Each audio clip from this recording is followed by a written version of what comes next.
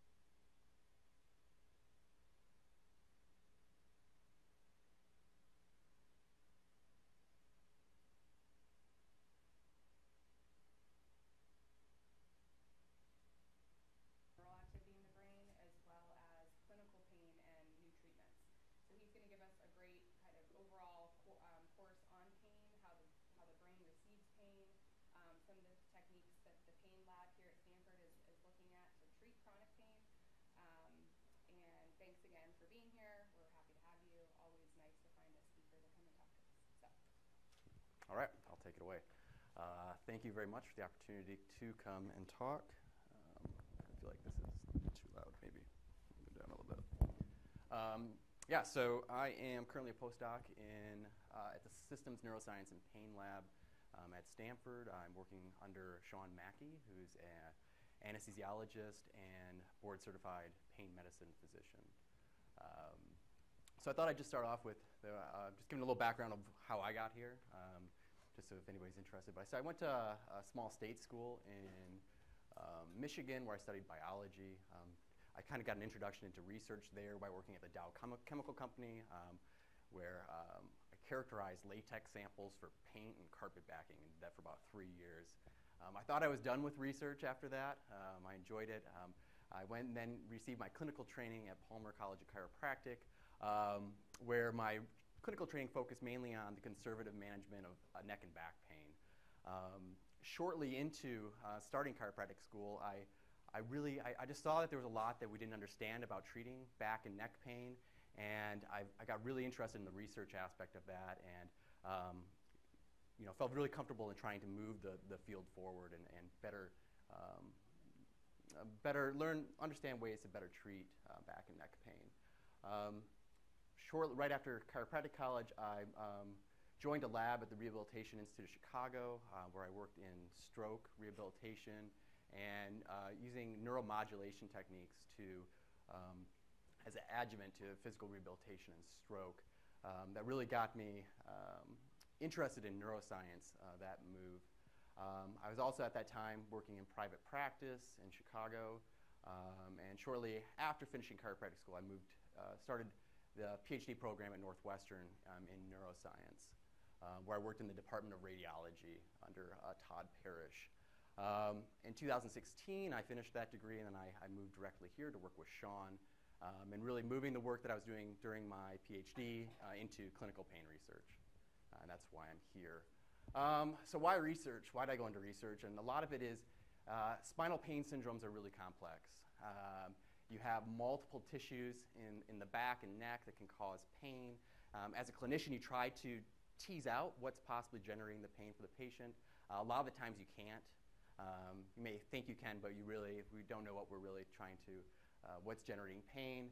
Um, so it's tough to identify pain generators, um, but then it's also really complex where you have multiple systems that are interacting, biomechanical, um, social, the physiological uh, systems, and, and, psychological. So it's really a complex condition to try to, uh, to try to treat, and there's a lot of unanswered questions in how all these systems interact.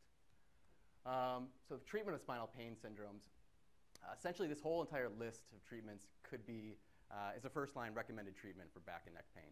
Uh, which ones you want to try first is probably going to depend on uh, which provider you go to um, or what you're mostly uh, interested in and, and, your choice as a, as a patient. Um, but you could pretty much try any of these. And essentially, it's going to go from uh, more conservative care to more invasive care. Um, but there's quite a few different combinations, and again, you could start with any of these depending on who you see. Um, and I just, this, this whole framework um, just really left me with a lot of questions, and that's really what led me into research. Um, why I chose neuroscience uh, is I like neuroscience because uh, underneath it, there's a lot of, uh, it, it's quite a large field, and it encompasses uh, the fields of sensory processing, pain perception, uh, motor control aspects, which have relation to low, low back pain and neck pain issues, um, I specialized in, in rehabilitation science. Um, and then um, also, it, all my work that I've been doing now it has been clinical research. So I'm working with patients, uh, working with humans, and I really enjoy that aspect of it. Um, so neuroscience is providing me with the tools to, uh, one, uncover the, the neuroplastic changes underlying chronic or clinical pain conditions, uh, trying to understand what the uh, mechanisms are of treatments, um, and then now moving into how to um, can we use these neurophysiological measures to uh, predict if someone's going to recover from pain uh, or continue to, uh, that pain's con- con- going to continue to persist? Um, so my work has really been um, combining neuroimaging techniques um, and clinical research to really attack uh, this problem of pain. Um, so, like I said, pain is a very big, huge problem in the United States. Um, there's about 100 million people um, that report having pain. Uh, the indirect costs uh, and direct costs of medical expenses are over $500 billion a year. Um, a lot of people think of pain as um, maybe pain accompanies a condition also, or is uh, just, just a symptom, but really chronic pain um, has really become a disease in its, in its own right. Um, and it's also, we've, we've heard a lot about the opioid epidemic. Um, there's over 300 million prescriptions per year for analgesics. Uh, most of these, a, major, a, third of these are for, for just, just for Vicodin and opiates.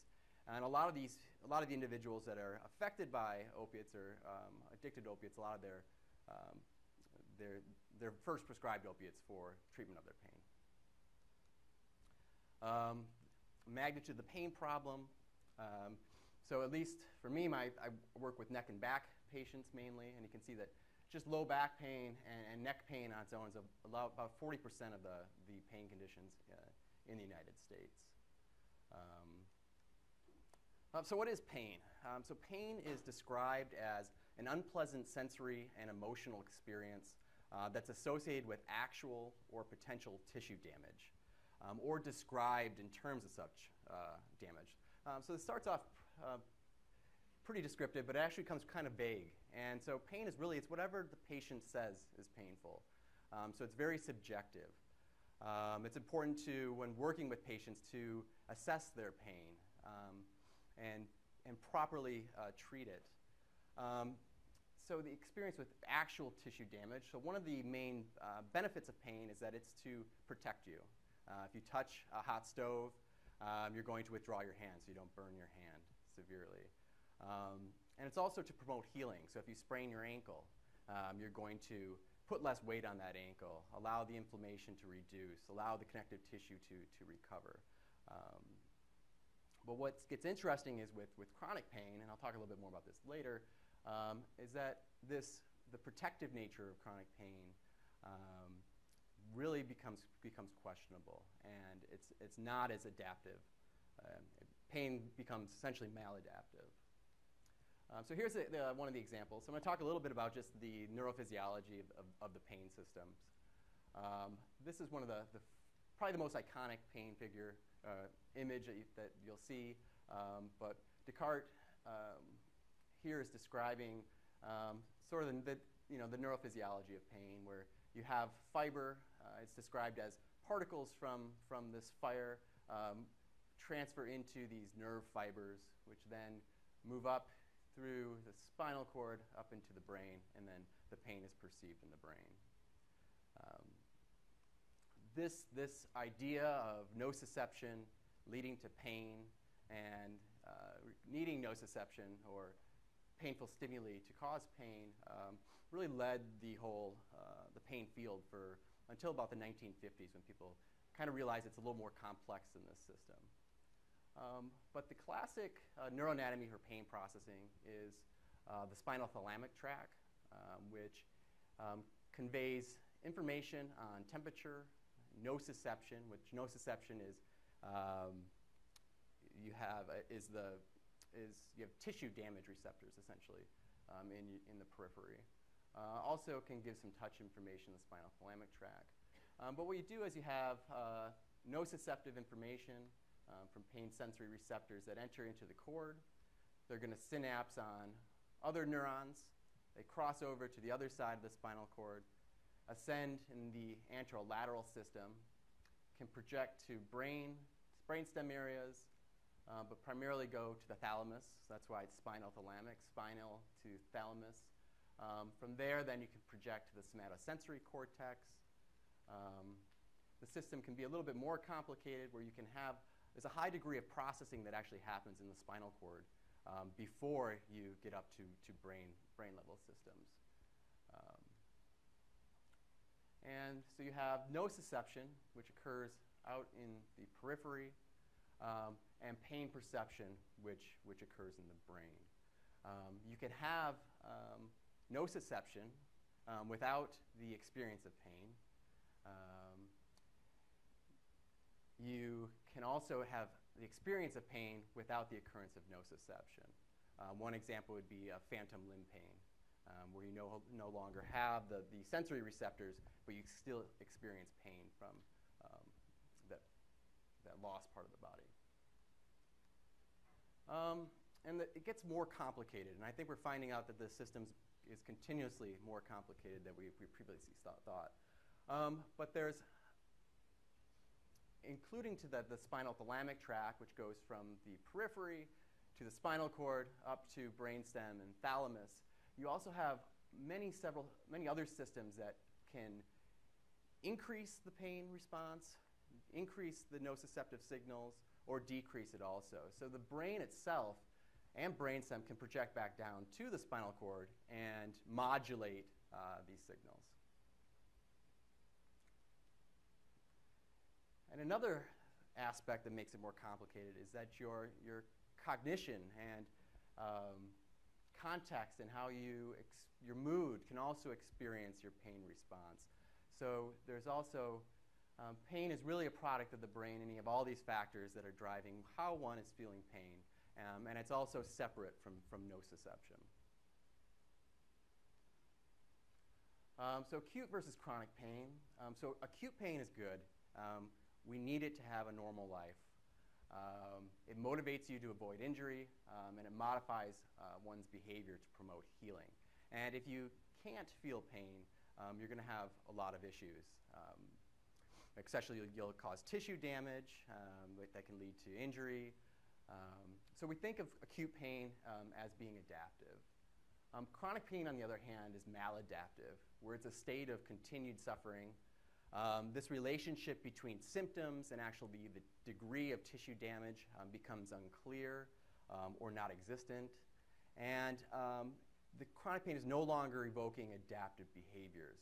Um, so the goal of the field and the goal of the research is to understand why some people transition to, to chronic pain and what's going on, and then trying to prevent that transition um, to stop the development of chronic pain.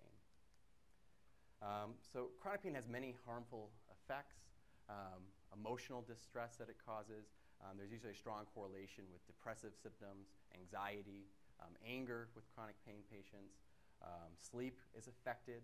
Um, there's existential suffering, uh, which may lead patients to want to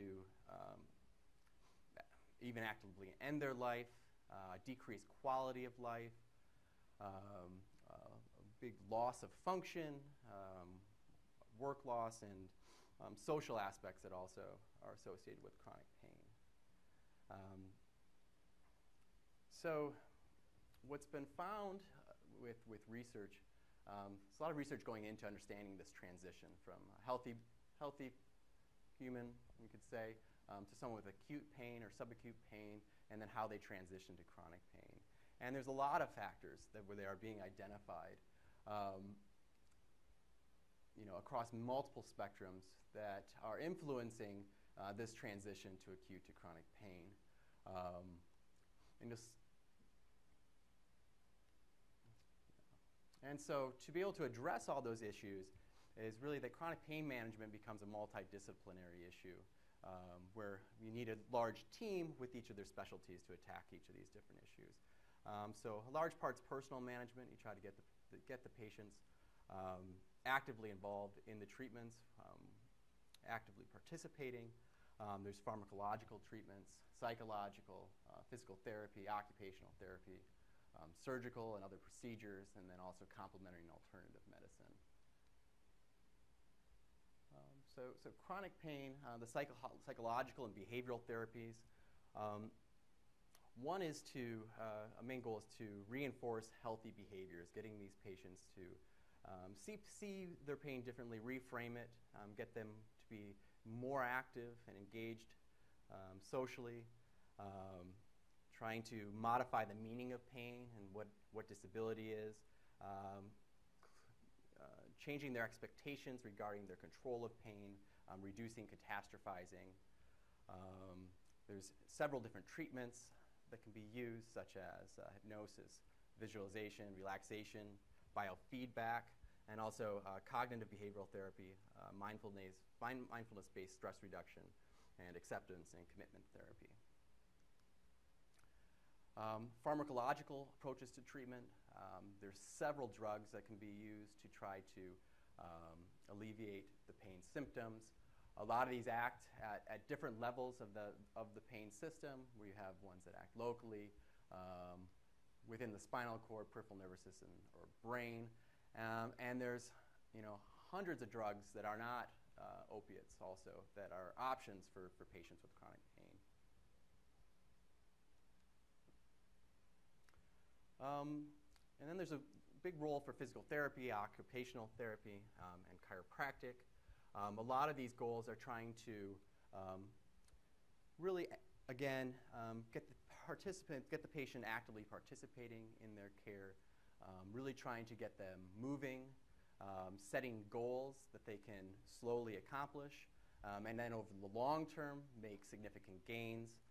Um, aerobic exercise, any exercise is really recommended for chronic pain, uh, weight loss, um, re education of their body mechanics, um, teaching them um, about the pain, about what's going on with their condition, um, proper ergonomic education, uh, muscle group strengthening, um, and then possibly, depending on what condition it is, if it's indicated, there's um, you could use something like transcranial electrical nerve stimulation or other modalities.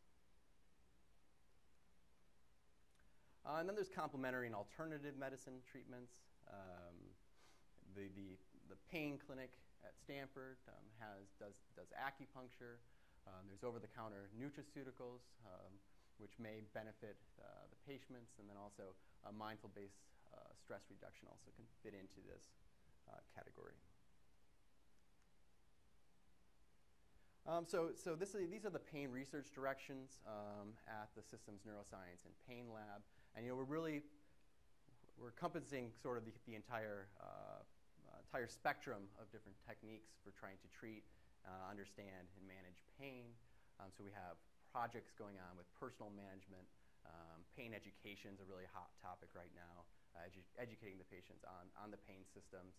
Um, we have some clinical trials with um, low dose naltrexone and fibromyalgia and complex regional pain syndrome. Um, very large project going on with cognitive behavioral therapy and mindful-based stress reduction um, in chronic low back pain patients, uh, which is finishing up the end of the year. Um, we have a previous postdoc who's now at uh, University of Washington, uh, Drew Sturgeon, who is, is, studying resilience, and that's this is kind of a hot topic. Is there's people with chronic pain um, that um, are able to function, um, you know, maintain regular work schedules, have very big social engagement. Um, and then there's other other individuals with, with chronic pain who it really affects their lives in a different way. So she's trying he's trying to understand, you know, why why do some why are some patients with chronic pain um, more able to be actively involved in the community um, versus other other patients who are um, more stricken by with with the pain. Nick Karayannis is a physical therapist at the, at the, the pain clinic. Um, so he's doing research with physical therapy, uh, uh, treatments, and then also diagnosis of, of low back conditions. Um, we have some, uh, currently have a pilot study going on right now with transcranial magnetic stimulation. Uh, this is a technique that you can use to um, increase activity or decrease activity in the brain. Um, so they're doing a pilot study right now with complex regional pain syndrome. So they're actively trying to change uh, the neurophysiology of the brain in these patients and seeing if that can um, um, modify their symptoms. Um, there's also uh, the Collaborative Health Outcomes Information Registry. So this is a large project um, where they're really trying to do uh, big data, uh, precision medicine um, at the, the, pain clinic. And so essentially all patients that come into the, the clinic um, fill out these, these, these surveys, um, they're continuously tracked at set time points. Um, and then all this data can really be mined to try to um, use big data to really understand um, how these patients are, uh, how treatments are being effective and, and what their course of care and symptoms are. Um, John T. Uh, Kong is a uh, anesthesiologist, pain medicine uh, physician um, also trained in acupuncture, and she has a current ongoing clinical trial going on in the lab um, looking um, at acupuncture with, with chronic low back pain. Um, and then there's a large group of the lab. I think we have uh, three, four postdocs right now um, working on neuroimaging, and this has been um, this is where I'm involved in, and I'll, I'll discuss more. Of the, most of the talk will be about the neuroimaging aspects and the research that's, that's going on. Um, okay. Yeah. So, so what tools are available? What tools we use in the lab? Um, a lot of it is patient-recorded outcomes. Again, pain is pain is subjective, so we use a lot of questionnaires um, to assess depression, anxiety, uh, physical function. Um, we have a lot of objective measures that we can use, um, physical examination. Um, there's some definitely interest in the labs moving more into using um, biomarkers, um, blood-based biomarkers, or genetic genetic measures to try to understand why some people are developing chronic pain. Uh, there's quantitative sensory testing. Uh, there's, there's quite a variety that you can use, but the idea is to get information about the uh, about the patient's uh, pain system and is it is the pain system is it facilitated? Is it not? So you can um, take measures of uh, temperature thresholds. Uh, what, what pain? What temperature does someone perceive a stimulus as pain, painful versus warm? Um, this is an example of one of these stimulators, and then here's some different thermodes that you can attach to the to the to the, to the patients. Um, it's also neat that we can do a lot of this um, in the fMRI scanner, the MRI scanners, um, so we can look at pain systems involved, we can stim thermally stimulate um, the, the, the, patients and then look at their, their brain responses. Um, you can also look at mechanical um, um thresholds uh, with pressure or pinprick. Um, and then a big tool that we use is, is, is neuroimaging. And the, the, main tool that we use in our lab is uh, magnetic resonance imaging. And so I'm going to focus on, on that for the, the remainder of the talk. Um, so what is uh, magnetic resonance imaging? I know we're all familiar with it, um, but you can create these amazing pictures of, of, of, the body in any orientation you want. Um, uh, MRI uses strong magnetic fields, uh, magnetic gradients, meaning they can change those magnetic fields, um, and then radio frequency coils to create images. Um, it uses no harmful ionizing uh, radiation, which is great for uh, clinical pain research because we can have um, we can longitudinally track these measures over time, and we don't need to worry about any, any harmful um, side effects to the patients. I probably have had probably uh, over 150 MRI scans uh, since I started my PhD. So I, I, think I'm okay. My advisors probably had 1,000, 2,000, so I'll be okay. Um, and then another thing is that it can provide really flexible image contrast. Um, and, and contrast here is meaning that if you have something that you're interested in, um, that in the image you can really distinguish that uh, from the rest of the image. Um, so you can see some of these images here. Um, we're getting really high contrast in the brain between uh, white matter, gray matter. Um, here, really good contrast with the heart. You can, um, you would say the lung here has really low, low contrast, but there's high contrast between both of those. Um, uh, so here's an MRI scanner.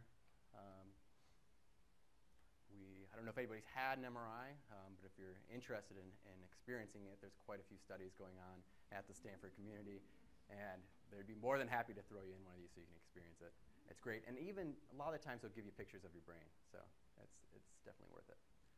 Um, but again, it's a really strong magnetic field, and uh, then you can manipulate this field with gradient coils uh, and use uh, radio frequency coils uh, to transmit uh, radio frequency signal to the uh, area that you want to image, and then also it receives this information, which then gets used to create the images. Um, um, so with MRI, I'm just going to give you a quick overview of how MRI works. Um, I guess next, next, next one you might do it because radiology comes in, and they'll probably go over this too. So, um, but um, mainly we're targeting hydrogen atoms um, with MRI.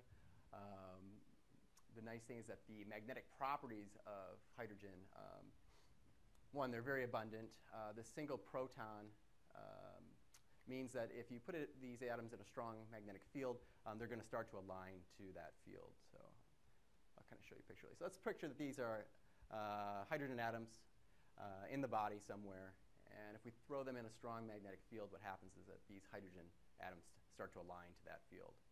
Um, and you get a net magnetic moment in one direction. Um, so what's interesting about this is when they are aligned, uh, these atoms precess around an axis like a top.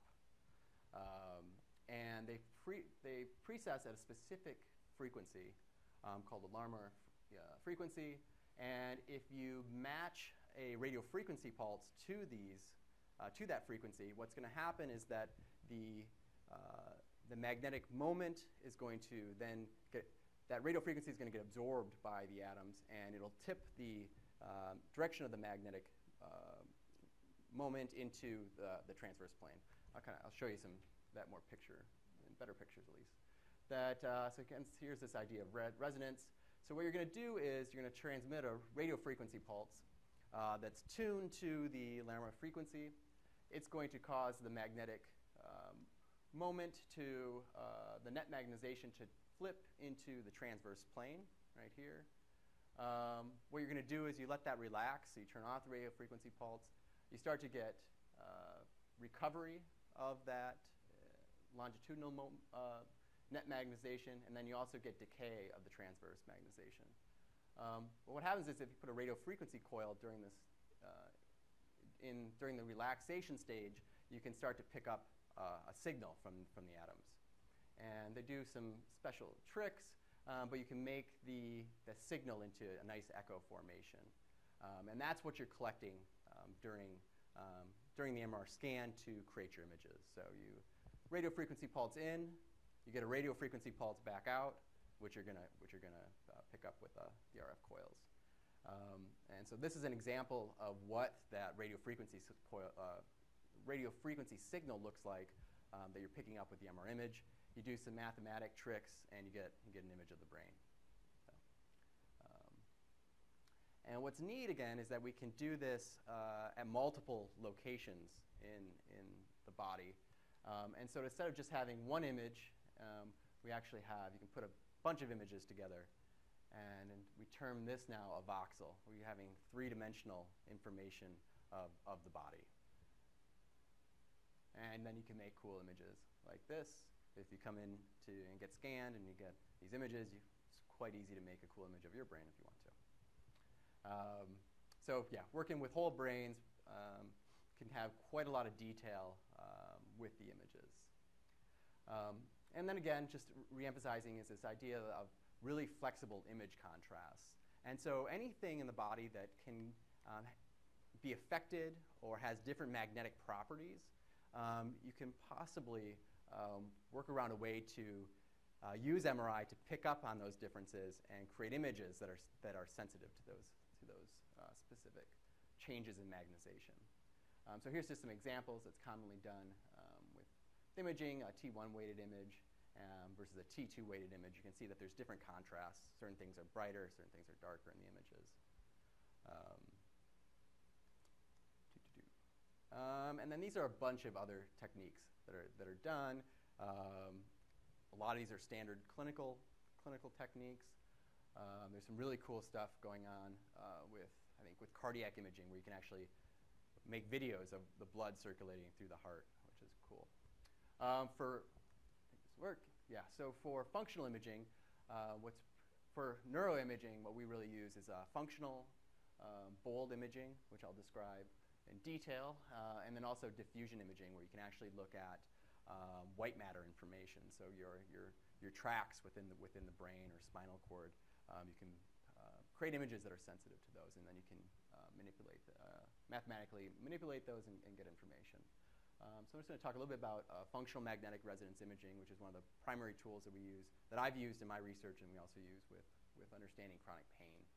Um, so functional magnetic res resonance imaging is you're creating uh, images that are sensitive to blood oxy oxygenation levels in the brain. Um, again, it's non-invasive.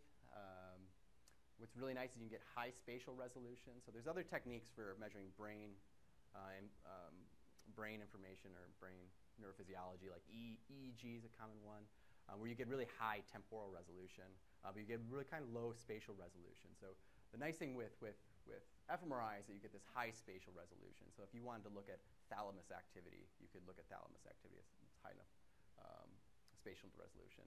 And it's real flexibility in the experimental design. It's whatever you can think of, um, you, could, you can do with, with, the with, with fMRI. Um, let's see, so neuron function. Um, for neurons, you're going to uh, essentially you get some sort of input into the dendrites. Uh, this information is integrated uh, in the cell body, and if it is, there's enough, uh, enough inputs, enough uh, membrane depolarization, uh, you'll get an output, which is the action potential. And then this goes to other neurons or target organs. Um, and so this is the basis of, of uh, neuronal function. Um, and it turns out that this is a really highly energy dependent process.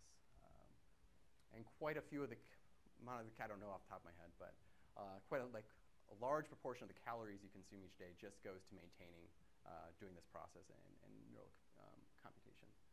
Um, so to kind of understand why this is so energy dependent, we'll look at a piece of the uh, cell body. Um, so here's uh, that uh, cell membrane. And you have extracellular, you have a high concentration of sodium, there's a low concentration of potassium, um, and then you have the opposite intracellularly.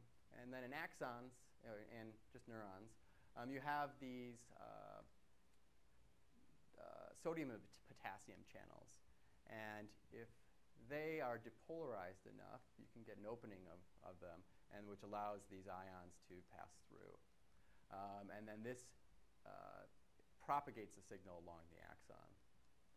Um, to maintain the equilibrium of, of the concentrations, the extracellular and intracellular concentrations, um, you have sodium-potassium pumps, um, which uh, what are they? Pump, pump sodium outside the the uh, the cell, and then and then pump potassium on the inside. And this requires uh, um, ATP. Uh, so and uh, quite a quite a uh, quite a highly energy dependent process that requires ATP. Um, so if, as you remember, to, to make ATP, you kind of have two choices. There's the aerobic cycle, uh, there's an anaerobic cycle. Um, and the brain has very, um, very low uh, ability to do uh, anaerobic respiration. And so aerobic uh, is the preferred pathway. And this requires um, oxygen. Um, so what's interesting, what's been found is that um, if any area of your brain um, is increased, has increased uh, neural activity, um, you get this increase of, of blood flow, um, which results in an increase in blood oxygenation levels to that, to that area in the brain. Um, this is to deliver glucose and both oxygen then to make the ATP. Uh, there ends up being an uncoupling between the delivery of oxygenated hemoglobin um, and the metabolic demands, so you get more oxygen pumped to the area than, than what you'd need. Um, so there's an increase in the local concentration of oxygenated hemoglobin um, in the uh, brain areas that are being activated. Uh, so why, why, is that, why is that interesting? Well, it turns out that oxygenated hemoglobin um, and deoxygenated hemoglobin have different magnetic properties um, which will influence the uh, signal that you detect with, with fMRI. Um, so with fMRI, um, we'll take advantage of this difference in the magnetic properties. Um, and we're going to create images such that this local increase in oxygenated hemoglobin um, results in an increase in the bold signal, signal or brightness in, in the pixels or voxels that are in the images that we're taking. So this bold signal is going to be proportional to blood oxygen level, and um, then it's also proportional to uh, neural activity, but as an indirect measure of neural activity. Um, so what we do in uh, an fMRI study is that we uh, collect images of the brain, um, usually um, in the scanner, while they're doing some sort of task or not doing a task, um, and we collect them over uh, multiple, over the whole course of the study. And a, a, study could run five minutes, it could run 10 minutes. We're going to get multiple images uh, over time, and these images are sensitive to blood oxygen level changes. Um, and if we look at you know, what an image is, Uh, an image is really just a, a, matrix of a bunch of numbers. All right, so um, what makes neat about this is that we can then use these, these numbers and do mathematical operations on them um, and detect these changes in signal over time. Um, so here's an example. If we look at one particular area in the brain, um, what we can do is see how this bold, the blood oxygen level changes, uh, blood oxygen level changes essentially over time uh, in the image, with time being here. So here's an example, uh, example experiment. Let's say we want to look at uh, vision-related activity in the brain. Um, so what we'll do is we'll shine uh, a bright light in the subject's eyes um, during uh, specific times while we collect these uh, bold images. Um, so here's an example. This is uh, a five-minute study, and we're going to shine lights at these five different times. Um, what we'll expect to see in brain regions that are uh, activated during this task, the visual stimuli, uh, we'll expect to see an increase in the bold signal in those voxels that are um, at that correspond to when the, the stimuli were del delivered. Um, so here's an example. If we want to, this is data from the, the subject, and we're going to look in a voxel in the auditory cortex. Uh, this wouldn't be an area that you'd expect to be uh, activated during the, the, uh, the visual stimuli. Um, so let's say this is what the example of what the bold signal would look like in this voxel. Uh, but then we can go, uh, let's say we look in the visual cortex here. This might be what we see in the visual cortex. So you can see that we're starting to pick up, seeing changes in the blood oxygen levels uh, that are uh, related to the response, uh, or to the stimuli. Um, and what we can do, uh, so here's now, I guess, another example where you have auditory cortex versus the visual cortex. And if we move the visual cortex data over, overlay you can see that there's quite a nice match. Um, and what we can do is do some statistics on the data that uh, tell us how well this signal in this voxel matches what we'd expect if it was responding to the visual stimuli. And we do that over the whole brain. So what we can do is take a, a bold contrast image like this. Imagine that this is over time throughout the study. Um, we can then create a statistical image where the brighter areas are areas that more closely match the pattern of the stimuli. And then we can threshold that. We'll say a, for here a p-value of less than 0.01, we're going to say, is going to be activated. And then we put that over a, a high resolution image of, of the patient's brain. And so we would say this area here in the brain, which corresponds to the uh, primary visual cortex, is activated during this task. And then you can make a bunch of pretty, pretty images. Um, but for this task, this was the area of the brain of the subject that was, was being activated. So that's sort of how, uh, that's how fMRI works. Um, what I've shown you here was an example of task-based fMRI, where you deliver stimuli. Um, what we do is, instead of visual stimuli, we deliver, can deliver painful stimuli uh, during the experiments, uh, and get an idea of what areas in the brain are being activated to uh, the painful uh, stimulation. Um, and so here's an example of one subject where there's a block design, uh, painful stimulation activation, uh, but we're showing activation. We believe these were delivered to the right hand, and we're seeing left somatosensory activation, uh, um, bilateral thalamic activation, and some uh, insular activation too in this subject. Um, but then there's also another uh, way to look at fMRI data, which I'll, I'll talk about with some of the examples is this connectivity-based fMRI. And so instead of, commonly these are done at rest. You'll just have a subject in the scanner at rest. Um, and what you'll do is you can see how different brain regions are um, sharing information with each other. So you can extract the bold signal, let's say, from the somatosensory cortex um, and the periaqueductal gray um, in the midbrain. You can extract those signals and run a correlation between them. Uh, and that'll give you information on how connected these regions are. Um, so this is uh, quite often used to build, uh, you can build large networks to see how um, all the areas in the brain are necessarily talking back, talking with each other, see how if, if this network changes with, with chronic pain um, or other different states. Um, and here's an example of what I did for this image is I extracted the signal from the right posterior cingulate cortex, and then I looked at how well um, the signal there corresponded with other areas. And you can see there's some medial prefrontal cortex activation, um, some thalamus activation. Um, but this is giving a map of areas in the brain that are connected to this, the posterior cingulate cortex. All right, so pretty in depth, uh, I think, uh, overview of MRI and um, uh, functional MRI then. But I think it's important that, um, especially if you, if you read this literature, it's good to have an understanding of you know, how, we, how these images are, how we come up with these images and, and how they're developed. Um, but so what are we doing with neuroimaging pain research? Um, so I think there's, there's three primary goals of, of what we're doing. Um, one is to understand mechanisms. Um, so how is pain encoded in the brain? Um, how does chronic pain develop? Uh, and then also how do treatments work? That's, that's really uh, important areas of investigation. Others is, is diagnosis. Um, you know, pain is, is really subjective, correct? Um, but there, and I think the easiest way to, to find out somebody's in pain is you, you just ask them, are, are you in pain, right? Um, but we want to try to uh, get uh, more objective measures uh, of pain. Um, so there's a field, yeah, trying to use fMRI, st structural imaging, to see if, if is this a chronic pain patient or not, just from their, their uh, MRI images. And then also for patients who may be comatose to see are they, are they experiencing pain or individuals who can't, can't respond.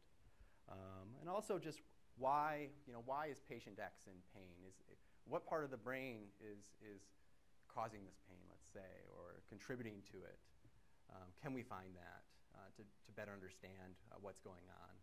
And then also prognosis. Um, so, um, you know, will patient X develop chronic pain? Uh, so someone comes in with, with acute back pain. Um, you know, do we have, need to be more concerned with this patient? Is there, is there something that we want to address now um, that could possibly prevent them from having chronic pain? Um, and then also just will treatment X work? Like I showed earlier with spinal pain, is you have all these first line treatments. You know, certain of those, you know, some, definitely some of those treatments are going to be better for, for certain individuals. And so to try to understand um, what treatment was best for this patient is, is definitely a field of interest. And then there's also just uh, neurodiscovery.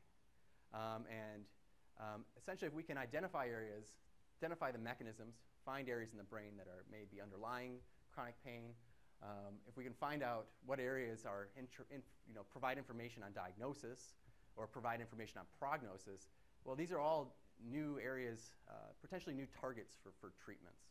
Um, and so it's really, we're discovering, um, discovering things that we haven't understood about chronic pain uh, before.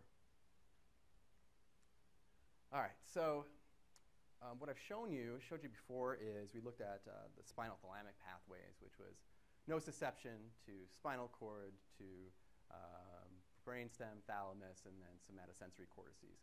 Um, but what really brain uh, neuroimaging research has really shown is that pain processing is, is much more complicated and it's distributed across the brain, across many uh, regions, um, which uh, fortunately, unfortunately, makes it, it, much more challenging to, to really understand uh, what's going on and what's causing pain and leading to it. So here's just some examples. This is a, a, a great review of uh, the MRI literature. Uh, I think also includes PET imaging and um, in, in, it also. Uh, but all these circuits and these areas have all been identified uh, and pathways that are um, involved in, in the um, perception of pain. Um, this, is a, this is a great figure. This is from uh, Kitty Martucci, one of our postdocs. But this is kind of giving you an idea of all these areas are, are uh, involved in, in, pain processing um, and chronic pain, and they have specific roles that we're starting to uh, disentangle, um, where you have uh, you know, your sensory, uh, multisensory components that are involved uh, probably more in the, the, perception of that pain. Um, these are the classic spinothalamic areas mostly, where you have thalamus, uh, primary motor, primary sensory cortex, um, then you have also areas in the brain that are doing more higher level cognitive processes. So um, looking at uh, pain affect, uh, unpleasantness, context. Context matters a lot in, in, in how you experience pain. Um, then there's also cognitive control of pain and, and um, descending modulation. Um, there's a lot of activation and, and use of these uh, emotional areas and uh, areas associated with, with learning um, are involved in chronic pain, and then descending pain modulation also. Um, so again, a, a, wide distributed network of brain areas that are um, working together to um, work together to really, you I guess, uh, define what, what it is that you're feeling with pain and, and what pain perception ends up being. Um, so this is a is an interesting study. This is where they had um, comparing um, uh, experimental pain. So a lot of the field when it first started was looking at uh, experimental pain. So you know, give somebody a painful stimulus. We'll look at this. Uh, look at the brain activations, um, and that's that's great. But um, what they've kind of found now is that the patterns of brain activation in chronic pain um, seems to be much different than what you'd experience in experimental pain. And experimental pain is much different than the, the clinical condition, clinical pain condition that's causing pain. And so there's been a push to try to really work with uh, patients and try to understand the neurophysiology of that pain condition. And so what this paper is doing is they had patients rate their pain levels in the scanners. Um, they had healthy patients where they did experimental thermal pain, uh, they did experimental knee pain, um, but then when they put in patients with, let's say, chronic back pain or comp, uh, chronic, I, I, forget chronic pelvic pain syndrome, I think that's it, yes. And osteoarthritis, um, uh, pain, uh, this is uh, post-herpetic neuralgia. Anyways, the, the, activation uh, from this spontaneous clinical pain is much different than what you'd experience with the experimental pain. Um, and so getting an idea that there's something different going on here um, with clinical pain conditions. Um, this is work from, from our lab, um, and this is using resting state functional connectivity um, in a group of uh, uh, chronic pelvic pain patients um, where they looked at um, connectivity between the posterior cingulate cortex and across the whole brain, kind of what I showed you before with the functional connectivity uh, analysis. Um, and then also the left precuneus region. And what they found is that these are areas that are showing here are areas that are, um, are showing increased or decreased connectivity uh, between the, the seed region, so posterior cingulate cortex, um, differences between healthy controls and then patients with chronic pelvic pain. And what's interesting here is that these regions you know, aren't really areas that you'd necessarily find to be activated with you know, an experimental pain stimulus necessarily. And it's more of these uh, cognitive areas that are involved in higher level aspects of pain processing. Um, so just looking at how regions in the brain are interacting with each other, it seems that there, there are differences between these chronic pain patients and uh, healthy controls. So their, their neural activity is changing. And you can also use MRI to look at brain structure. So this study was one of the first that looked at um, complex regional pain syndrome and was able to get measures of gray matter density um, and also uh, white matter measures. And what they showed that is that decreased gray matter volume in the anterior insula and the ventral medial prefrontal cortex um, was significantly decreased in complex regional pain syndrome. And not only that, but that it also correlated with their duration of their pain um, and also um, pain intensity and duration, uh, kind of combo measure there. Uh, but just suggesting that um, the brain is actually changing. The structure of the brain is changing with people who are in chronic pain. Um, and uh, so it's not just the function, but also the structure is different too. Um, and what's really been interesting is a lot of these areas that they're finding are, again, more of these emotional uh, and learning circuits. So it's kind of uh, changed the way that we think about chronic pain. And one of the current theories um, is that, um, well, that chronic pain appears to disrupt the brain's emotional learning circuitry. And so it's hy- hypothesized that um, chronic pain may uh, develop from a maladaptive learning process, um, which converts sensory nociceptive pain experiences um, following an initial injury to some pathological affective state. So what that means is that, um, you know, the example of touch a hot stove, you're going to withdraw your hand, and you're going to quickly learn not to do that again, right? And so you're not going to repeat that behavior. But what the problem is, is with chronic pain is that these people aren't able to uh, extinguish their pain. And so if you kind of have this pain signal that's just constant, you start to associate uh, everything with that chronic pain. You may associate your social interactions with pain, and I want to, I, I, don't, you know, you don't want to do these social interactions because they may be painful. A large thing we see with, with especially back and neck pain is people um, start getting these fear avoidance behaviors where they don't, um, they don't want to move their body, they don't want to move their neck, they don't want to lift or bend over, and because um, it's painful. But that also, you know, starts to create um, one builds up fear of, of bending over, let's say, uh, and um, and then can also lead to deconditioning too with, with the patients. Uh, so it looks that um, pain is such a good uh, learning stimulus um, that has such a strong association with between stimuli and behavior that it starts to, to change the way the brain's wired. Uh, and you can start to pick these up with neuroimaging um, measures um, with functional and, and structural imaging.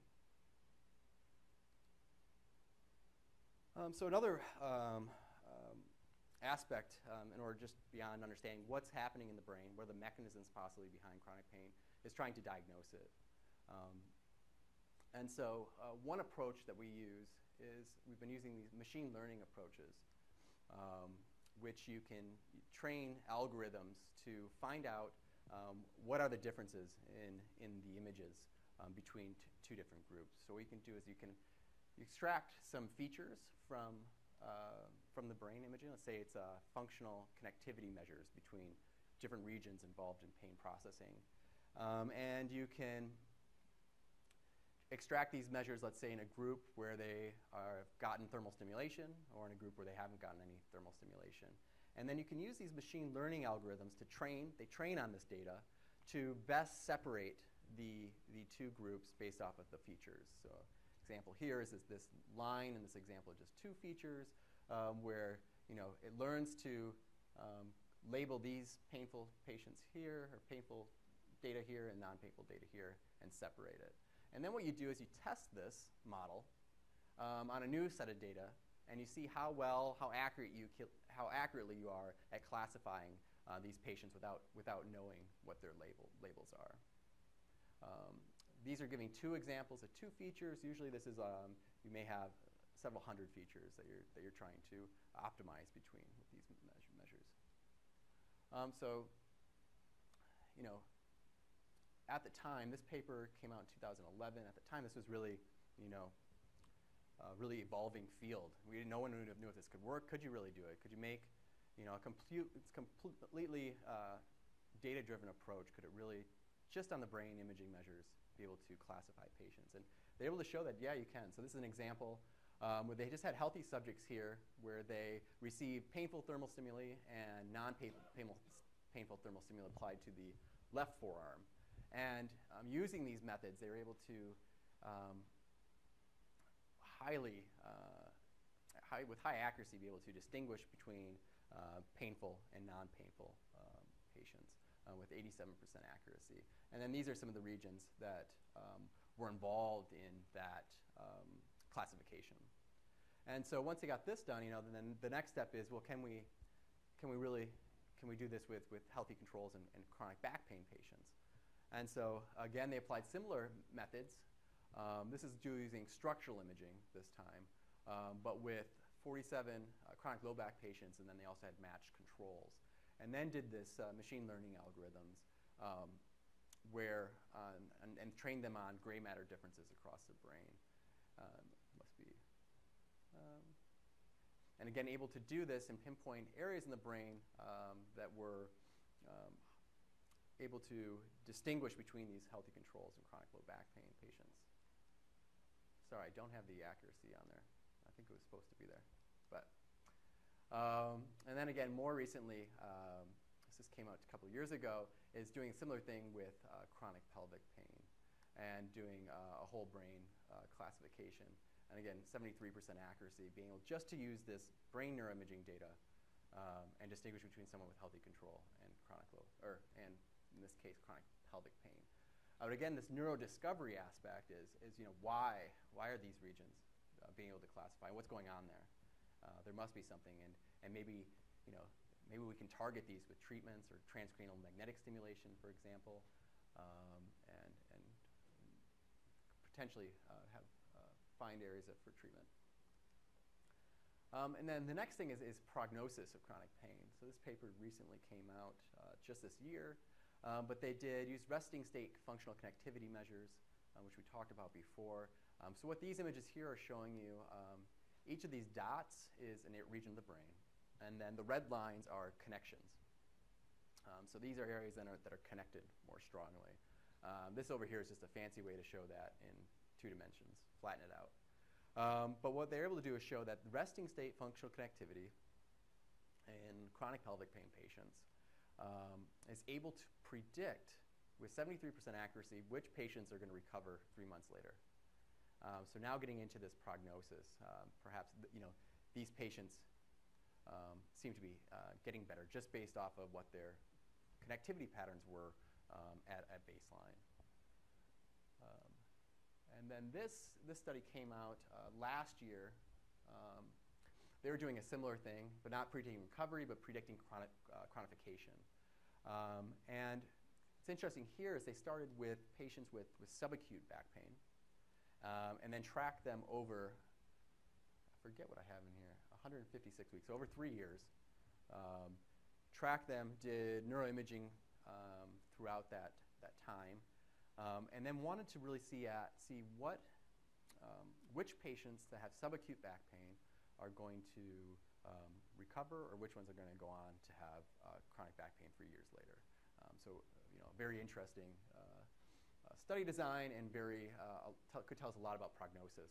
Um, so again, what they found is that, uh, again, what seems to be is that these, this uh, cortical limbic connectivity, these areas really um, seem to be in, th in this study, they were able to use uh, the white matter and functional connections between the dorsal medial prefrontal cortex, amygdala, and uh, nucleus accumbens um, was shown to be a, a risk factor for pain chronification. So at, at baseline, there's something with the circuitry in these patients' uh, brains um, that makes them prone to, to, go on and develop chronic pain.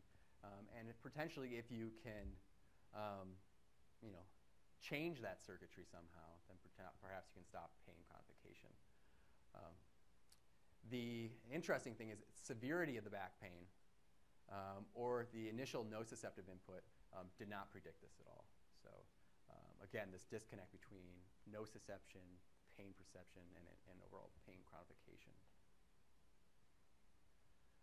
Um, so with that, uh, this neurodiscovery aspect is, is can we, you know, this is where we're moving can we modulate this neural activity? And there's, there's a few tools that are easily available um, um, that we're, we're, currently working with. Um, one is re repetitive transcranial magnetic stimulation. Here's an example. Uh, where you place a coil on uh, the subject's head, patient's head, and then you deliver electrical current through there. Um, it will itself create, um, it, will induce a magnetic current and then induce, or in, create a magnetic field which induces current uh, in the neurons. And you can use this to excite areas in the brain or use it to decrease uh, neural activity in the brain. Another method similar to this is, is transcranial direct current stimulation, um, where you're actually just you're passing a current through the head, which can modulate neural activity. Um, then there's some work being done now. This is not clinical yet, uh, but using ultrasound to stimulate different areas. And this is an active area of research here at Stanford. Um, um, one benefit here is this ultrasonic stimulation is that you may be able to, to really target deep areas in the brain. Uh, TMS is more uh, superficial areas, so you can get motor areas, uh, get prefrontal areas, um, but it's hard, you can't really necessarily target thalamus activity, but potentially you could with uh, ultrasonic stimulation. And there's actually some new ways with transcranial direct current stimulation that you can target deeper brain structures. Um, another area of work currently going on in our lab is real-time neurofeedback with fMRI, um, and I'll, I'll, just show you a slide on that. And then you also have pharmacological and psychological inter- interventions. And similar to, to these studies, you know, where they just track these patients, um, it's possible that you could do a similar study, but you know, track them while they're on a treatment compared to someone not on, patients not on treatments, and try to predict why, you know, what brain regions are being effective on whether somebody's a responder or non-responder to a treatment. Uh, so here's a, a study, um, real-time neurofeedback. Um, so what this is is that you have someone doing an fMRI scan, um, but during the scan, you're actually calculating the bold signal change real time. And then you're giving that, uh, the subject or patient, uh, that information back to them. And so for this study, what they do is they tried to have them um, reduce their, uh, their activity uh, within the uh, anterior cingulate cortex. So this area, they've got information fed back to them uh, and the signal here, and they're, they're actively trying to learn, actively trying and learning to reduce this activity. Um, and as they, they were success, able to successfully do this, they, they, there was a, a, reduction in their, uh, in their pain levels. And this was done with experimental pain in healthy controls and also done with, with chronic back pain population. Um, so we're currently working on, uh, Christine Law is a post, uh, research associate in the lab, and she is uh, actively working on this and refining our methods um, to be able to do, uh, use this approach to see if it could be an effective treatment for, for pain. All right. Um, so we've really only been talking about the brain, um, but uh, we're kind of forgetting about a much other large part of the nervous system, which is the spinal cord. And I got too many animations on this. Go through them. All right. Um, so the spinal cord uh, neurophysiology has also been shown to uh, be, be affected in chronic pain conditions. Um, and a lot of this is through, through animal models mostly, have been able to show us. Uh, but there are changes going on. Um, what we really don't have a good method to measure spinal cord activity in humans. And if we really want to understand clinical pain, uh, we need to, um, you know, we need to get patients in the scanners and humans and, and uh, assess their activity. Um, so my PhD work uh, is, you know, can we use fMRI to uh, measure spinal cord activity? Um, basically, all the principles that, that apply to uh, conventional fMRI should apply to the spinal cord. Um, and it would let us uh, look at the signal changes with high resolution. Um, so we just quick overview of the spinal cord. It's the tubular caudal extension of the brainstem. Uh, it's surrounded by bone, uh, by the vertebral column. There's left-right symmetry. Uh, every, you know, uh, as you move down through the spinal cord, you have these spinal cord segments which branch off and uh, convey sensory and motor information to the extremities um, and the body. Um, so that's that. If we look more closely, uh, there's a central core of gray matter, uh, which is surrounded by white matter, which is the, the tracks that send information um, abo above and below uh, to the brain, brainstem. Um, there's dorsal areas is where the sensory information primarily comes in. Uh, the ventral areas is where you have your motor neuron cell bodies that then go out uh, to there. Um, so potential uses of this, why is this, why is this interesting one? Um, we could possibly localize sensory and motor processing, uh, be able to build better models and a greater understanding of, of what's going on. Um, my real interest is, is, using this as a non-invasive functional biomarker. Um, so want to understand injury, injury or pathology. Uh, I think the two areas that are really interesting is clinical pain uh, work and then also spinal cord injury um, or multiple sclerosis or ALS. Really use this as some sort of a biomarker for those diseases. Um, and then also potentially for preoperative planning too and to assess recovery and treatment. Um, so, but there's quite a few challenges to spinal cord fMRI, and this really is why this field is just starting to, uh, you know, uh, develop. Um, one is the small dimensions. Um, you've got the brain, which is you know, 10, 15 centimeters. This is about one, one centimeter in cross-sectional area.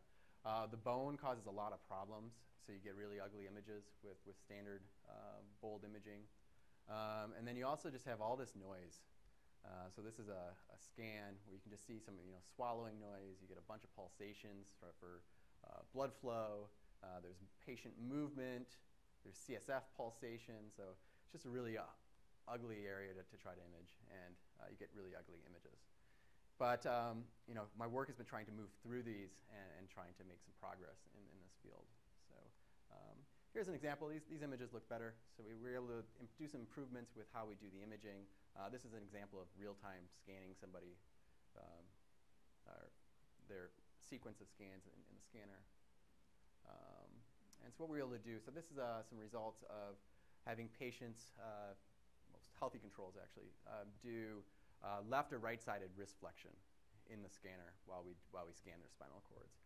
Um, and what you'd expect is that uh, left-sided motor flexion should result in left-sided spinal cord activity because that's where the um, uh, motor neurons are for the, the, the, muscles, and then also the sensory feedback would probably be mostly ipsilateral during the task. And then the opposite, you expect right-sided uh, motor tasks to, expect to um, lead to right-sided activity. And, and that, that's exactly what we've shown. So uh, here's an example in red is left-sided activity. I'll give you a little more, a little bit more on this too.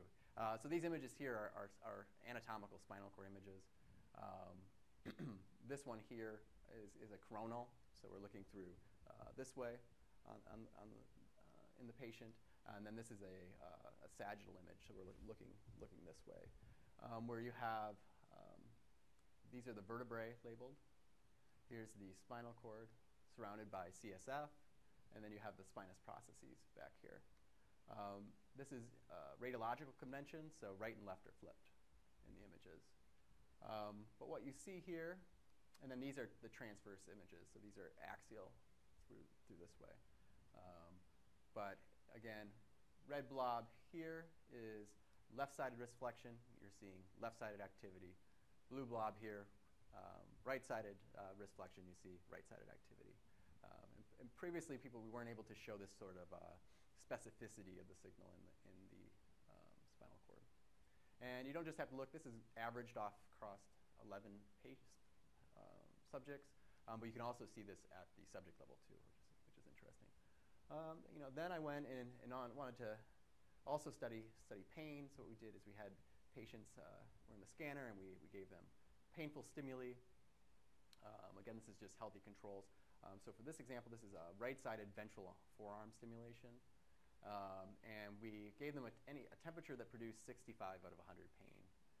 Um, and then the images are similar, uh, but what you see is this, this large uh, amount of right-sided activity that extends across the spinal cord.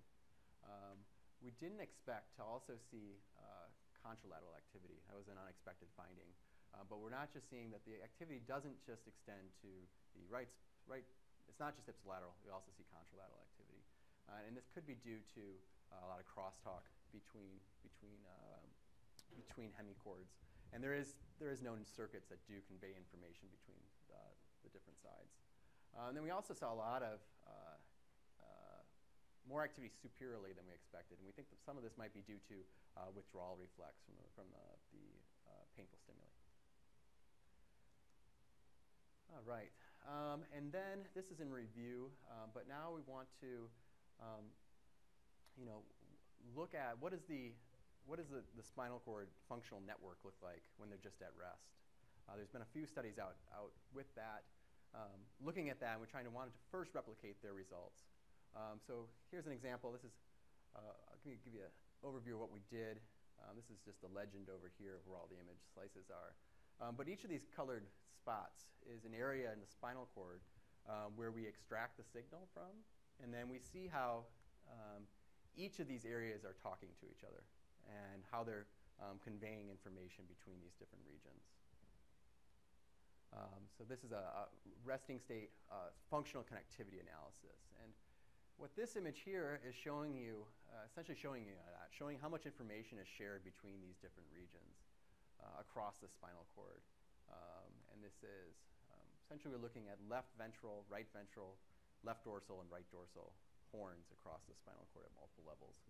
And what we are able to show is that we see, we see that at rest there's communication between the left ventral horn and right ventral horn, um, and communication between the left dorsal horn and right dorsal horn.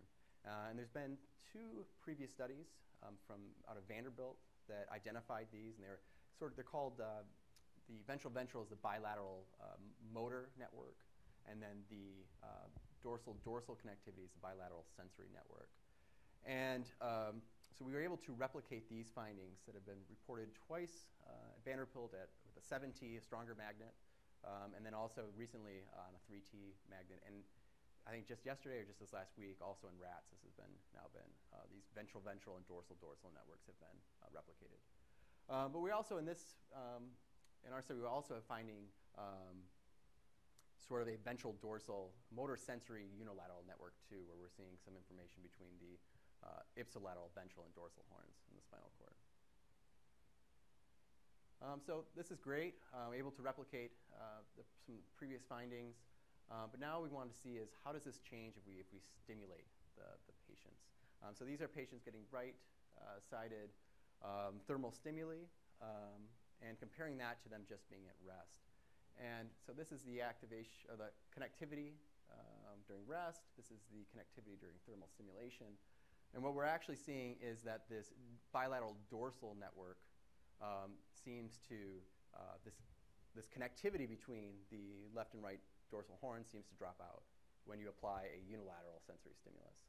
And so it makes sense is that you think we're now changing the sensory input from one side of the body, um, which is probably changing the synchrony and information being, being um, um, given across both, the, both of the different ones. Um, and there's some ways that we can look at this network too um, and use some larger measures of, uh, of the network structure. Um, and this is based off of, of graph theory. Um, and a lot of it's used for to understand social networks, that kind of things. And people are bringing those into uh, to try to understand brain networks and now uh, spinal cord networks. Um, but we can see that thermal stimulation results in a uh, increase in, in global efficiency, uh, possibly by creating uh, more long distance connections, um, possibly within the right side of the spinal cord to this stimulation, and also a different mod, uh, a decrease in modularity. Um, so overall, what this is saying is that um, we can, there seems to be some sort of, at, at rest, there are normal uh, pattern of connectivity in the spinal cord, and we can, we can change that stimulation with, uh, with uh, thermal stimulation in this example. So it is not uh, static. Um, so my personal research agenda is um, to build on this work, and I'm interested in, I'm, well, start beginning a project in the near future where we're going to look at uh, right-sided cervical radiculopathy patients. Uh, so these are patients with right-sided um, neck pain um, that is due to, in part due to some sort of nerve impingement. Um, in, in the cervical spine, uh, which causes um, neck pain, but also can cause motor law, uh, dysfunction and sensory changes in, in the extremity. Uh, so we want to bring in right-sided patients uh, with cervical radic, kind of getting this idea that right-sided cervical radiculopathy must be, uh, is probably altering the sensory information on one side of the body. Um, and we want to try to detect those changes using structural, um, structural um, diffusion weighted and resting state um, functional brain and spinal cord imaging. Uh, so we'll, what we'll do is we're going to recruit a bunch of right-sided cervical radiculopathy patients, uh, some age-matched and healthy controls, and look at how these signals change um, in the brain and spinal cord. Um, and then for the chronic right-sided neck pain patients, or cervical radiculopathy patients, we'll longitudinally track their clinical measures over 12 months, um, and then bring back uh, a cohort of those patients that have either recovered um, from their condition or continue to have pain. And then really try to see, one, how do these, how do the changes in these measures over time uh, change and how does that relate to uh, their clinical findings. Um, so the goal is to identify uh, neuroimaging-based brain and spinal cord biomarkers for cervical radiculopathy um, and prognostic factors of pain reduction in, in, this, in this population. And then the next steps after that would be, all right, we identified these areas. Can we if we change the, the neurophysiology of those networks or those pathways, can this change the, um, their pain levels or can it change their likelihood of, of continuing to? Um, and then another project that I'm um, interested in working on is uh, using uh, deep learning to try to decode neuroimaging-based biomarkers of chronic pain. Um, so deep learning is a branch of, uh, of machine learning and artificial intelligence uh, that uses these artificial neural networks to compute um, either classification, responders versus non-responders, or regression, which you can look at pain severity, let's say. Um, so it's commonly, your iPhone uses neural networks. Um, the, there's a lot of work going on here at, at Stanford using it with, with uh, computer vision, um, speech recognition, that, those kind of applications. So just, just in the last few years, people have started to try to use this data for neuroimaging. And um, the Alzheimer's disease population uh, research has been able to show some really great, um, have some really great findings where they um, use these deep learning networks to classify healthy controls versus Alzheimer's disease, and they're able to create models that are much more interesting, more accurate than what was done with um, more conventional machine learning uh, uh, approaches. Um, one of the reasons why they've been able to do this in the Alzheimer's disease population is that they have really large databases. So they have, they have databases of 1,000 uh, resting state scans for Alzheimer's disease, and they can really use that. Um, and a lot of these deep learning approaches, you need these big databases um, to be successful. Um, so what we're going to do is that we're, right now we're having a, in the lab, we're having a, uh, a study finishing up uh, that collected uh, resting state functional connectivity measures and structural measures in uh, a sample of about 200 chronic low back pain patients. And we actually quite a, we have quite a large database that we can do that we're going to try to see um, can we use these deep learning methods to um, better classify healthy controls versus chronic pain uh, patients um, using these measures. And then we'll compare that to just conventional machine learning models and see if we can generalize these models to other chronic pain conditions. Um, so that's where my personal research agenda. Um, I also just want to announce that we just, uh, Beth Darnall is a clinical associate professor. Um, she's a clinical pain psychologist uh, works in the, in the pain center. Um, just, uh, last week, just last week, it was announced that uh, she got a very large research award um, to um, study how best to help patients with chronic pain uh, reduce their opioid use. Um, so their treatments that they're going to use here is a cognitive behavioral therapy uh, within the context of patient-centered opioid, uh, opioid taper. Um, they've kind of shown that if you can um, get patients engaged and wanting to get off their opioids, when they, they do so, they're actually their pain levels decrease also. So they're able to get off opioids and they're, they're, they have less pain. So um, this is going to be ramping up in the next year or so, and it'll, it'll be a, really huge study and pretty exciting. Um, so summary, uh, chronic pain has a tremendous impact on the individual, their family, and society. Uh, multidisciplinary care um, gives the best results. Um, chronic pain uh, causes changes throughout the, the nervous system, um, and neuroimaging um, is a tool that we're using to, to uncover these changes and hopefully pave the way to uh, better treatments. Uh, so this is uh, the, the Systems Neuroscience and Pain Lab.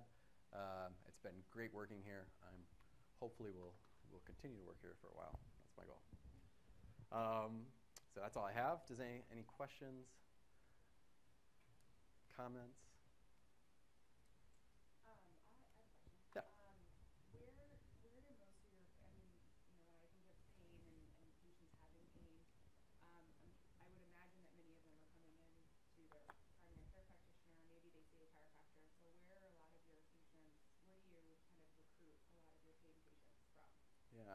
Um, so we get, so the lab, well, one, generally Stanford uh, Hospital. Um, try to make relationships with these primary care physicians, um, other providers in the community, and pull in patients possibly from there. Um, also, there's um, the CHOIR database, the Collaborative Health Outcomes Information Research. Um, part of that process also uh, allows patients, when they come into the, the Stanford Pain Management Center, that they can decide there that they want to get contacted about research. So that can go in, goes into a, a, a base. Um, we also have an online screening form, so participants uh, who may find the lab's website um, through uh, Google um, can go in and put in their information, and that all gets stored that they can get contacted later. Um, but what, what else? What al also one major area, which is new for me here, which I thought was um, very exciting, is the use of social media. and so Facebook ads to bring in uh, potential participants. And I believe that's where um, the large proportion of the, the recruitment of uh, the success of bringing in uh, patients comes from. Yeah. I find that your patients are um, usually, and, and research participants are pretty motivated. Um, I think, I mean, all of us can kind of relate to, to motivation of patients. So some of them don't have current treatment for whatever condition Mhm. they're looking at. And if, if these are a lot of patients who are suffering from chronic pain, um, they may have tried a whole bunch of different moda- you know, treatment modalities and they found that none of them have really worked for them. So I would imagine that many of them are highly motivated and are at least good at participating in, in your studies um, if they're looking at different treatments.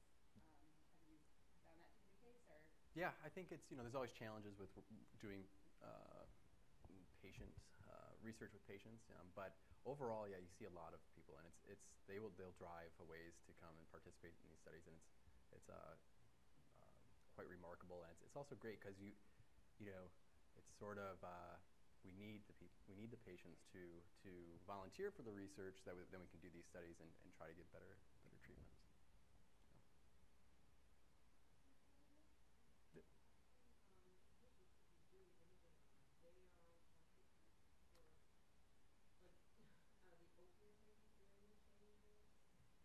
Yeah. Yeah, so, so it'll, it'll depend on uh, depend on the study.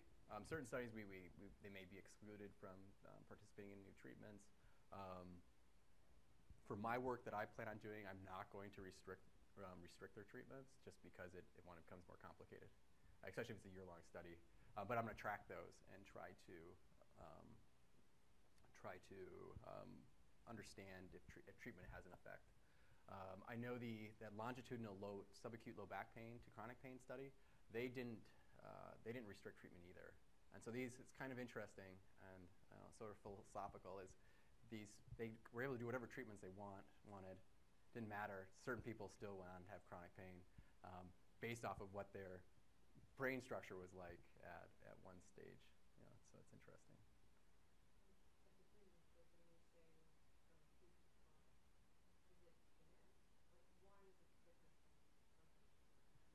Yeah, um, I don't know. We don't know for sure, of course, but it does.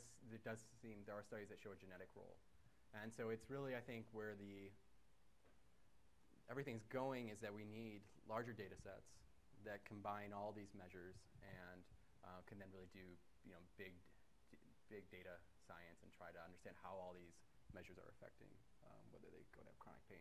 And that's like the, the nice thing with uh, the the Choir project is that we're we have a large database, um, mostly uh, behavioral and subjective outcomes. Um, but starting, especially here at Stanford, we're really starting to use big data and precision medicine. So I, I think in the next you know 10 years we'll have a lot better idea of how all, all these factors influence the transition.